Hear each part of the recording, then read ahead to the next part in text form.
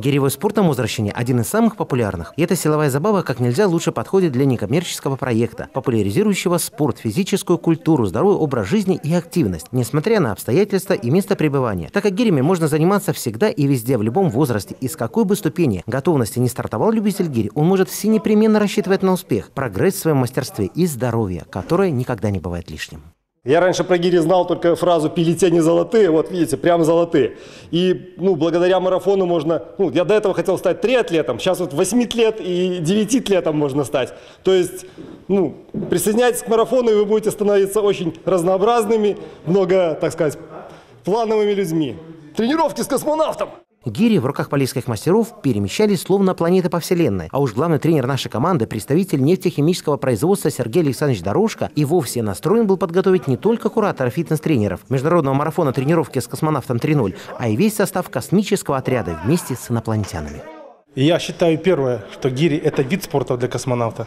Это вообще супер. Вообще гири супер у нас. Мне очень понравилось готовить Сергея. Пусть приходит, мы с него сделаем настоящего гирейка. Кажется, после нашего сюжета гиревой спорт станет обязательным физической подготовке космонавта. И вправду, сей универсальный снаряд гири подходит как для тренинга профессиональных спортсменов высокого класса, так и для любителей физической культуры, желающих улучшить свое состояние. Гиря – это действительно универсальный снаряд. Э, я, бы, я бы немножко забежал, забегу вперед, скажу, что важнее всего – это желание человека. Это то, что у человека внутри, в душе. Если он хочет, он найдет себе способ. Это может быть бег, это может быть плавание.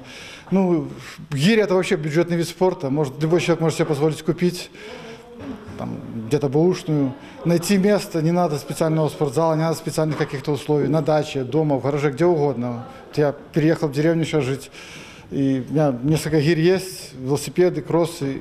Пандемия никак не сказалась на нашей подготовке. Мы регулярно тренируемся, повышаем свои результаты, причем все наша команда гиревиков. Отметим, что не так давно подопечная Сергея Александровича Дорожка, представительница Музорского нефтеперерабатывающего завода Галина Щербакова, показала третий результат на чемпионате мира путем онлайн-трансляции весовой категории до 58 килограммов. Скоро будут официальные подтверждения результатов и церемония награждения, которая принесет бронзовую медаль спортсменке МНПЗ и уже участнице международного марафона тренировки с космонавтом 3.0, который выходит на финишную прямую.